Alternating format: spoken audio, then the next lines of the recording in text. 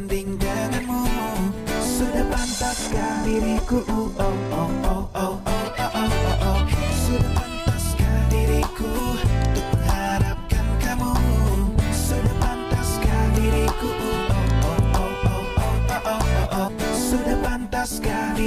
oh oh oh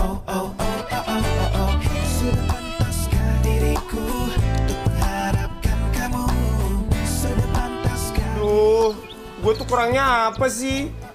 Gue padahal udah sayang banget sama lu. Apa aja gue kasih sama lu. Lu udah gak sayang ya sama gue. Udah gak cinta ya sama gue. Padahal gue udah serius banget. Aku tuh serius sama kamu. Tinggal tinggalin aja yang gak tahu apa rasanya sakit banget ya. Uh, seandainya.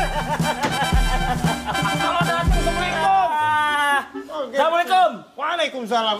Lagian lu gimana sih? Ini 2021 coy. Kenapa Lu 2021? kenapa masih galau aja? Nggak Iya. move on. Lu jangan-jangan ini nih. Lu perlu dirukiah nih kayaknya nih. Enak aja di Rukiah. Iya. Gak ngerasain sih jadi gua. Kenapa Lagi lu? sayang-sayang ya. Hah? Ditinggalin. Lagian lu ngapain sih? Percuma aja lu pacaran. Pacaran 5 tahun. Lu tau nggak? Lu kalau nyicil motor, itu motornya udah lunas. Lu udah bisa ngambil motor baru malahan. Lu gimana sih? Tapi gak gampang tau nyari pengganti. Dikira beli cabai kali di pasar, main ganti-ganti aja langsung. Bro, gue mau kasih tahu lu caranya biar lu cepet move on. Mau tahu lu? Mau dong, mau banget. Mau tahu?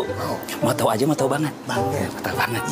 Caranya adalah ta'aruf. Ta'aruf.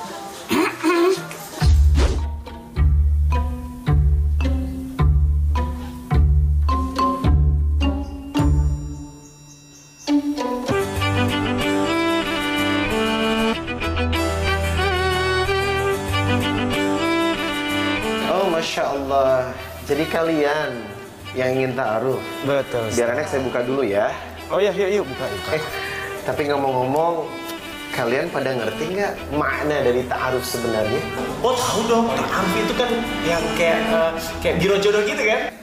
iya, gitu kan? Bukan biro jodoh, Reza. Oh bukan. Kalau Mikdad? Saya sih, maaf ya Ustadz kalau salah, tolong benerin. Ta'aruf itu adalah proses pencarian jodoh yang sesuai dengan syariah Islam, betul nggak? Saya suka pendapat Mikdad kalau ternyata ta'aruf itu adalah mencari jodoh, prosesnya adalah syariah. Syariah. Jadi secara kehidupan orang mau selamat harus berpegang teguh kepada Quran dan hadis. Rasulullah sallallahu alaihi wasallam bersabda, "Taraktu fikum amrayni lan tadillu tamassaktum bihima kitaballahi wa sunnata rasulihi." Dua hal yang aku tinggalkan selama seseorang berpegang teguh kepadanya tidak akan pernah sesat. Always, always make happy. Yakni apabila seseorang selalu berpegang teguh kepada Quran dan hadis. Nah, secara bahasa, ta'aruf itu berasal dari kata ta'arafa ya ta'arufu. Artinya apa? Saling mengenal.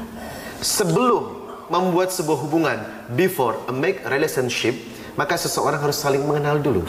Nah, secara fitrah, kehidupan ini memang dibikin saling mengenal. Mari kita lihat Quran surah Al-Hujurat surat 49 di ayat yang ke-13. Ya Yuhannas, inna khalaqnakum min dakari wa untha waj'alnakum syu'uban wa إِنَّ أَقْرَمَكُمْ inna اللَّهِ 'indallahi إِنَّ اللَّهَ alimun خَبِيرٌ Wahai manusia, kalian diciptakan berbangsa-bangsa, bersuku-suku, beda bahasa, beda kulit, beda negara, dan beda apa pun secara fitrah agar lita'arufu, saling mengenal. Nah inilah konsep ta'aruf.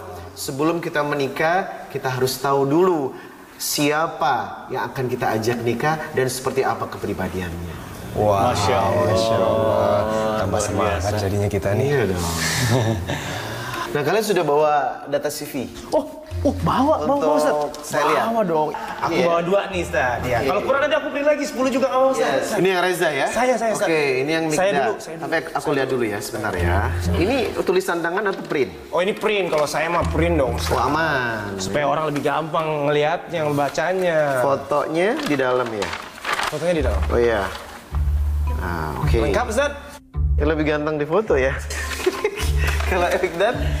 Oke. Maaf Ustadz, ini Dua juga ya. Saya lihat. Iya. Ini print atau tulisan tangan? eh aduh, jadi nggak enak nih saya Ustadz.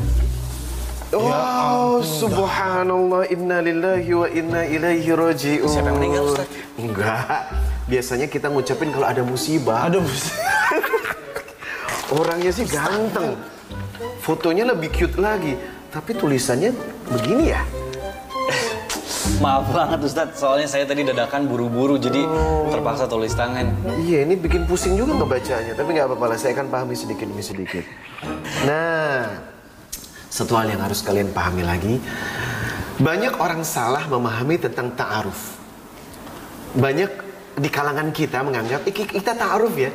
Namun sebenarnya ta'aruf itu bukanlah proses pacaran islami. Oh beda jadi, ya. jadi kalau ada pertanyaan, adakah dalam Islam pacaran Islami? Nah, ini sebuah pertanyaan yang sebenarnya big question, salah besar. Karena sebenarnya ta'aruf itu beda dengan pacaran Islami. Nah, ta'aruf di sini seperti yang dijelaskan di awal tadi, saling mengenal secara syariah. Tentunya mesti ada adab-adabnya. Ada, ada, ada. Nah, adab-adab ini yang merupakan qualification, sebuah syarat seseorang mengenal orang lain secara syariah. Yang pertama, ta'aruf itu harusnya dengan orang lain bukan dengan mahram. Sehingga karena itu orang lain kita tetap menjaga jarak. Sebab kata Nabi, kata Nabi, la yakhluwanna ahadukum bimru'atin tidaklah kalian boleh berduaan dengan wanita ya fa inna syaitana thalithuhuma kecuali yang ketiga adalah syaitan. Waduh.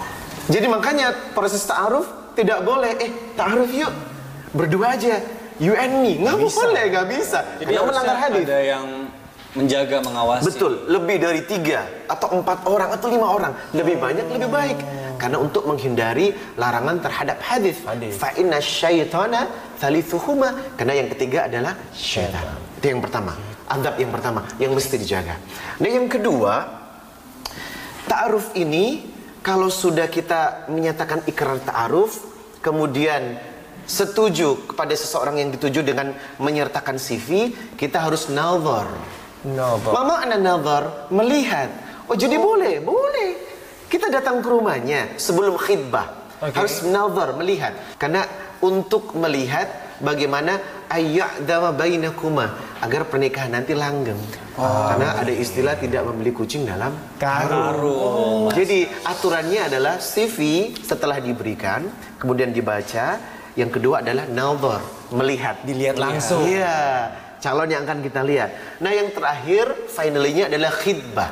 Khidbah. Ke mana khidbah? Kita datang untuk melamar, Melamar. and then take the final decision. Eh, katakan sama mereka kalau kita ingin menikahinya. Itu kalimat vulgarnya. Tapi kalau kalimat-kalimat lebih halusnya lagi, saya ingin engkau mendampingi hidupku Eish. untuk selamanya. Aduh, jadi nggak sabar ini. Seperti itu. Baik. Allah. Wah, Ustaz terima kasih banyak. Iya, eh, Ustaz, terima kasih banyak nih. atas ujangannya. Insya Allah iya, kita mudah-mudahan doakan kita semuanya mudah-mudahan mendapatkan yang terbaik ya. Amin. Selalu, selalu saya mendoakan. Saya dulu saja. Eh, siap, siap. Yang penting adalah prinsip-prinsip syariah, syariah dan adab-adabnya selalu dijaga. Baik, Insya Insya Allah. Ihfadillah. Siapa yang menjaga Allah, Allah akan menjaga kita. Amin. Insya Allah. Kalau gitu kita Kita pamit dulu. Pamit dulu Oke, ya, siap. Ustaz. Terima, Terima kasih banyak waktunya, Ustaz. Barakallahu iya. berkah semuanya ya. Siap. Assalamualaikum. Assalamualaikum. Duh, gini amat ya mau taruh pakai segala bawa CV kayak ngelamar kerja. Iya, gue juga bingung bro. Zaman sekarang itu ya, kalau nyari jodoh makin susah. Iya. Eh, tapi by the way kita belum kenalan ya? Oh iya, Siapa mas namanya mas? saya Mikdad bro. Saya Reza. Masya Semoga Allah. lancar, semoga dapat jodoh yang terbaik. Amin, amin. Amin, amin, amin. Masnya juga ya. Amin. Yuk, cabut yuk. Yuk. Sudah pantaskah diriku untuk bersanding